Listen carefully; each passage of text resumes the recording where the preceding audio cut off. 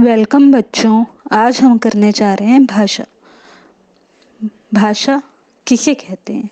भाषा वह साधन है जिसके द्वारा मनुष्य बोलकर, सुनकर, लिखकर या पढ़कर अपने मन के भावों और विचारों को दूसरों के समक्ष प्रकट करता है, अथवा जिस माध्यम से हम अपने भावों या विचारों को दूसरों को समझा सकें और दूसरों के भावों या विचारों को समझ सकें, उसे हम भाषा कहते हैं। भाषा कितने प्रकार की होती है? भाषा तीन प्रकार की होती है। मौखिक भाषा, लिखित भाषा, सांकेतिक भाषा। तो मौखिक भाषा किसे कहते हैं? भाषा का वह रूप जिसमें व्यक्ति अपने विचारों को बोलकर प्रकट करता है और दूसरा व्यक्ति सुनकर उनको समझता है। भाषा जिसमें एक व्यक्ति बोल रहा है और दूसरा उसको सुनकर समझ रहा है। तो ये कौन सी भाषा होगी? मौखिक भाषा। लिखित भाषा भाषा के जिस रूप में हम अपने विचारों को लिख कर प्रकट करते हैं, उसे लिखित भाषा कहते हैं। मतलब हमने रिटर्न में जो लिखा है, वो हमारी लिखित भाषा है। इसे समझने के लिए पत्र लिखा जाता है, ठीक है? जैसे हम पहले पत्र लिखते थे, आजकल हम क्या करते हैं? एसएमएस करते हैं व्हाट्सअप करते हैं। ये सब क्या है? लिखित रूप है भाषा का। अब हमारा तीसरी भाषा का कौन सा रूप है? सांकेतिक भाषा। सांकेतिक भाषा क्या होती है? भाषा के जिस माध्यम से हम अपने विचारों को, इशारों से इशारों के माध्यम से दूसरों को समझाते हैं, वो संकेतिक भाषा कहती है, कहलाती है। जैसे जो व्यक्ति बोल नहीं सकता, सुन नहीं सकता तो वो कौन सी भाषा समझता है? इशारों की भाषा। या बच्चा जब बोलता नहीं है तो वो कैसे समझाता है अपनी भाषा को? इशारों से। ट्रैफ़िक पुलिस जो है, जो सिग्नल्स पर खड़ी होती है वो अपनी भाषा को कैसे समझाती है? इशारों से। तो जो इशारों वाली भाषा होती है, उसको हम क्या कहते हैं? सांकेतिक भाषा। तो भाषा के कौन कौन से तीन रूप हो गए? मौखिक भाषा, लिखित भाषा और सांकेतिक भाषा। जब भाषा की बात होती है तो हमारे सामने कुछ और चीज़ें भी आती हैं, जैसे राजभाषा, भाषा, राष्ट्रभाषा और बोली। तो आज हम उनके बारे में भी जानेंगे कि ये क्या है। किसी प्रदेश की राज्य सरकार के द्वारा उस राज्य के अंतर्गत प्रशासनिक कार्यों को संपन्न करने के लिए जिस भाषा का प्रयोग किया जाता है, उसे हम राज्य भाषा कहते हैं। यह भाषा संपूर्ण प्रदेश में बोली जाती है और उसके लोगों के द्वारा समझी भी जाती है।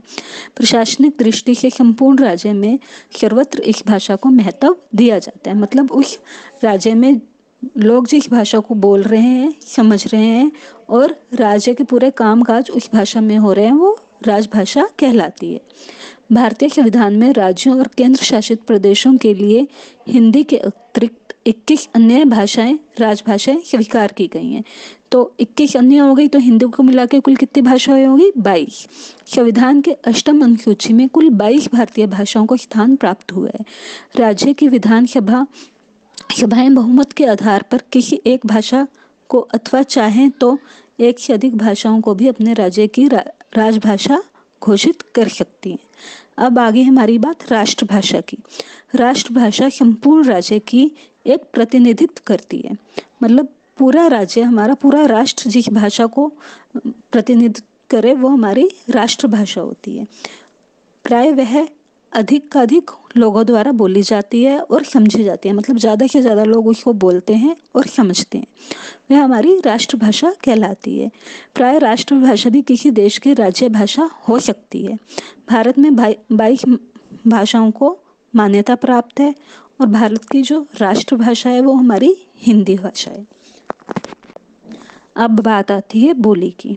बोली क्या होती है? सीमित क्षेत्रों में बोली जाने वाली भाषा के रूप को बोली कहते हैं।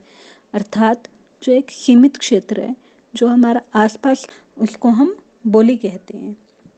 और बोली हर थोड़े गैप के बाद बोली चेंज हो जाती है। एक एरिया के बाद आपकी बोली चेंज हो जाती है। ये आपने भी नोट किया होगा कि आप थोड़ी थोड़ी दूरी पे देखते हो तो लोगों की भाषा में कुछ कुछ चेंज आता है। तो वो क्या होती है? वो वहाँ की बोली होती है। अब हम इसके आधार पर कुछ प्रश्नों को करेंगे। हमारा सबसे पहला प्रश्न क्या है? क पार्ट, उचित शब्दों के आगे टिक्का निशान लगाओ। इसका पहला प्रश्न क्या है? हम अपनी बात को दूसरों को बोलकर बताते हैं, यह भाषा का कौन सा रूप है? बताइए कौन सा रूप है? मौखिक या लिखित? बोलकर बताने वाला कौन सा रूप होता है? मौखिक, बिल्कुल मौखिक के आगे टिक लगा दीजिए। हम दूसरों की बात को डैश समझ सकते हैं, बोलकर या सुनकर। दूसरों की बात को कैसे समझते हैं? सुनकर। तो किसके आगे टिक लगा देंगे? सुनकर। क्या हमारी भाषा, भांति पशु पक्षियों की भी अपनी भाषा बोली होती है? क्या पशु पक्षियों की भी कोई बोली होती है? नहीं। पशु पक्षियों की कोई बोली नहीं होती, वो सिर्फ़ आवाज़ें निकालते हैं। हाथी क्या करता है? चिंघाड़ता है या दहाड़ता है? हाथी चिंघाड़ता है। अब आइए अपने ख प्रश्न पर। ख प्रश्न क्या कह रहा है? रिक्त स्थान भरो। विचारों के आदान प्रदान के माध्यम को डैश कहते हैं। क्या कहते हैं? भाषा। भाषा के डैश रूप माने जाते हैं। कितने रूप माने जाते हैं भाषा के? दो। रूप तो दो माने जाते हैं, बट होते कितने तीन रूप होते हैं। तो आप इसमें दोनों ही लिख सकते हैं। दो या तीन, दोनों ठीक है। पत्र लेखन भाषा का डैश रूप होता है। पत्र को लिखना कौन सा रूप होगा? लिखित रूप। शुरू शुरू में बच्चा डैश भाषा के द्वारा बात करता है। कौन सी भाषा के द्वारा बात करता है? सांकेतिक भाषा। ट्रैफ़िक पुलिस यातायात के संचालन में डैश भाषा का प्रयोग करती है। सांकेतिक भाषा का। भाषा के दो रूप होते हैं। कौन कौन से रूप? दो मेन रूप कौन से हैं? मौखिक भाषा और लिखित भाषा। समाचार सुनना भाषा का डैश रूप है। कौन सा रूप है? मौखिक रूप। भाषा के तीन रूप होते हैं। अब तीन में कौन कौन से आ जाएँगे? मौखिक रूप लिखित रूप और सांकेतिक रूप। समाचार पत्र भाषा का कौन सा रूप है? लिखित रूप है। समाचार सुनना मौखिक रूप है और समाचार पत्र लिखित रूप है। रेडियो पर गाने सुनना भाषा का कौन सा रूप है? मौखिक रूप है। चुप रहने का संकेत करना कौन सा रूप है? संकेतिक भाषा, इशारों का। सही विकल्प पर टिक्का और गलत पर क्रॉस का निशान लगाएँ। जब हम आपस में बात करते हैं तो वह भाषा की मौखिक रूप कहलाता है। बिल्कुल टिक है। पत्र लेखन भाषा का मौखिक रूप है, नहीं लिखित रूप है तो ये क्या हो गया? क्रोश अपने मन की बात केवल बोलकर ही बताई जा सकती है, नहीं, आप लिखकर भी बता सकते हो, इशारों से भी बता सकते हो तो ये भी क्या है? क्रोश है। भाषा के दो रूप होते हैं, नहीं क्रोश है, भाषा के तीन रूप होते हैं। पक्षी लिखकर अपनी बात समझा सकते हैं, नहीं, ये भी क्रोश है। अपने मन की बात हम बोलकर या लिखकर दूसरों तक पहुंचाते हैं। बिल्कुल, ये टिक है। भारत में केवल हिंदी ही बोली जाती है। नहीं, ये भी क्रोश है। भाषा वह साधन है जिसके द्वारा हम अपने विचारों को केवल पढ़कर समझते हैं। नहीं, ये क्रोश है। भाषा के लिखित रूप को हम पढ़ सक, पढ़ नहीं सकते।